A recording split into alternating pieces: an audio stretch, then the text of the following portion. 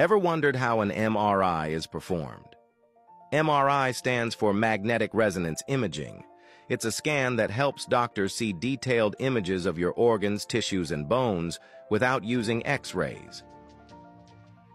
The process starts with the patient lying down on a flat table. The table then slides into a large tunnel-shaped machine. You'll need to stay very still during the scan so the images come out clear. Sometimes you may be given earplugs or headphones because the machine makes loud tapping or thumping sounds. In some cases, a contrast dye may be injected into a vein to make certain areas show up better.